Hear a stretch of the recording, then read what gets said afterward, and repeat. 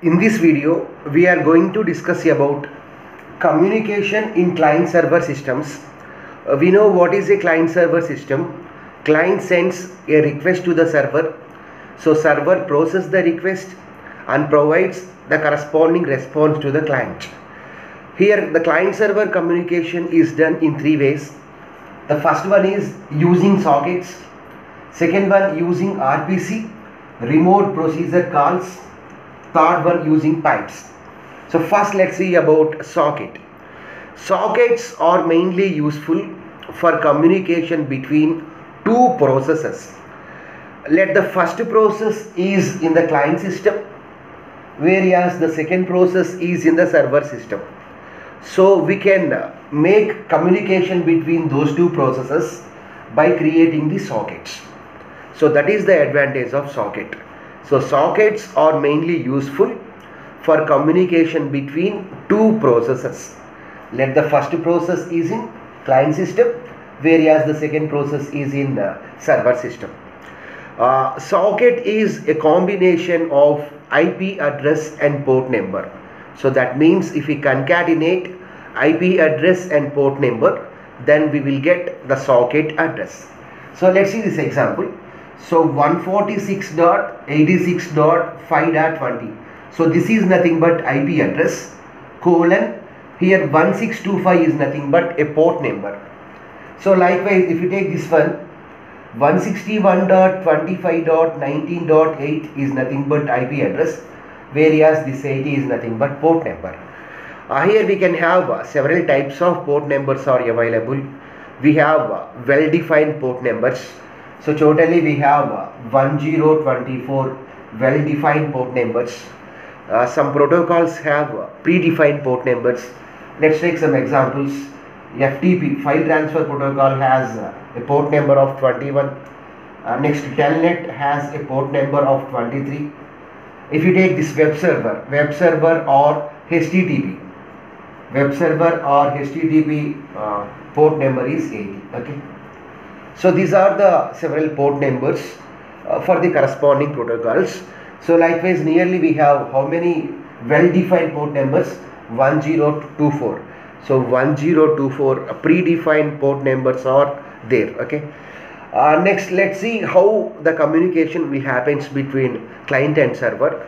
So first the server will wait for the client request the client connection request so whenever client sends a connection request to the server then the server accepts that request and provides the corresponding connection to the client machine. Okay? Uh, let's take this example. Here this is nothing but host x. Here this host is nothing but a client where ip address of this client is 126.86.5.20 here we have a web server uh, the ip address of the web server is 161.25.19.8 so this is nothing but a socket which is created for the for a process in this client mission. Okay? Uh, so what is the socket here? 146 dot. This is nothing but ip address colon port number. Here this port number is allotted by the client mission. So this mission will allots the port number for the corresponding request or for the corresponding process here we have 1024 uh, port numbers so a port number which is greater than 1024 will be allocated because from 1 to 1024 are fixed port numbers.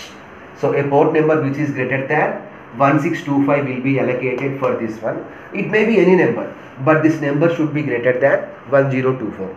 Here IP address also it is our choice. IP address means it contains some, uh, it is divided into four parts. So first part, second part, third part, fourth part. We can write any address here. Uh, so this is nothing but the socket which is created for the web server. So here what is the IP address? 161.25.19.80 here this is nothing but web server. Web server is nothing but HTTP for HTTP the port number is 80 so in this example first the client mission will send the connection request to the web server with the help of uh, this socket so whenever uh, this is nothing but socket. So whenever server receives uh, that connection request then it provides the corresponding connection to the client machine okay? Then after that uh, client will send a request to the server. So based upon the request server processes the request and provides response to the client machine. So let us assume that this host uh, generated one more request. So for that request one more process will be created. That process port number should not be 1625 because the port number should be unique here in that system. So some other port number will be created for that process. So likewise uh, in a host we can have uh, several requests to the server. So based upon the request server provides the response to the client.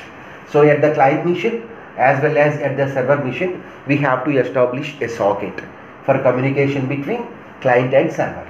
So this is about uh, sockets and the next one is uh, remote procedure call uh, the name itself specifies the meaning remote procedure call means calling a procedure which is located at remote machine. So till now in every program what we are doing is let us assume that this is a C program. In main function we call add function. So now this main function as well as add function located in the same program whereas coming to this one calling a procedure. Here procedure is nothing but a function. Let us assume that here we are calling add function. Here we are calling add procedure but that add procedure is located in some other remote mission, some other system. So that is nothing but remote procedure call. So calling a procedure which is located at some other system. Now let's see how a remote procedure call is implemented. So in order to implement a remote procedure call, so first the client sends uh, a request to the client stub. So first what will happen? Client calls client stub this client stub is nothing but a program in the operating system. This client stub can also be called as client proxy. Client proxy. So this is nothing but a program which is in the operating system. Then after that what the client stub will do is client stub packs parameters into message into message into message and this is called as marshalling and this process is known as marshalling. So what is the first step? Client calls client stub or client proxy. So client stub or client proxy is nothing but a program which resides in operating system. It contains a collection of instructions. So what the client stub instruction, what the client stub program will do?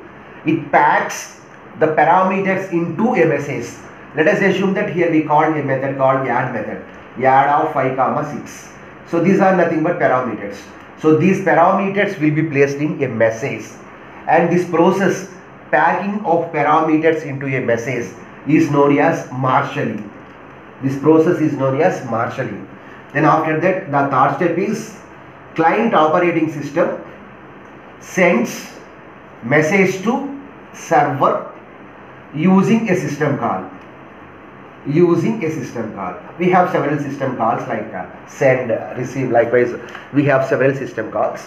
So the client operating system sends that corresponding message to the server using a system call. Okay. So with the help of uh, some send system call, uh, client sends that message to the server. So then after that what the server will do is server calls, server calls server stub or server proxy so we have to write these three statements one more time. In place of server stub, we have to write what? Server proxy. And the next, server stub performs demarshalling. Demarshalling means unpacking of those parameters. The parameters will be taken from the message. So what the server stub will do? Server stub will do demarshalling. So what is demarshalling? Unpacking the parameters from the message okay now server stub has parameters so what uh, the server operating system will do now server operating system sends parameters to server so server executes the program so server executes the procedure so once that procedure execution is over it will gives the result so that result will be returned to the client machine. So these are the six steps that we perform while implementing remote procedure call. And the last one is pipes. So by using pipes also we can make communication between two processes between client and server also. Uh, the best the best example for pipe is ls or more. This is an example. This symbol is known as a pipe. the major advantage of the pipe is it sends output of one process as input to the next process. So whenever this pipe statement is, whenever this pipe command is executed, then the output of ls will be sent as input to the more command. Okay. A pipe is represented like this. So this is nothing but a pipe. Every pipe contains uh, two descriptors. Uh, FD, FD stands for file descriptors. The first descriptor is represented with the help of FD of 0. The second descriptor is represented with the help of FD of 1. Here FD of 0 is nothing but a read descriptor. That means we can perform read operation. Whereas FD of 1 is nothing but write descriptor. If you take producer consumer problem, then producer process produces an item and places that item in the buffer. Here buffer is nothing but that pipe. So producer process produces an item and write that item into the buffer. So likewise consumer process consumes the item from this end. Okay.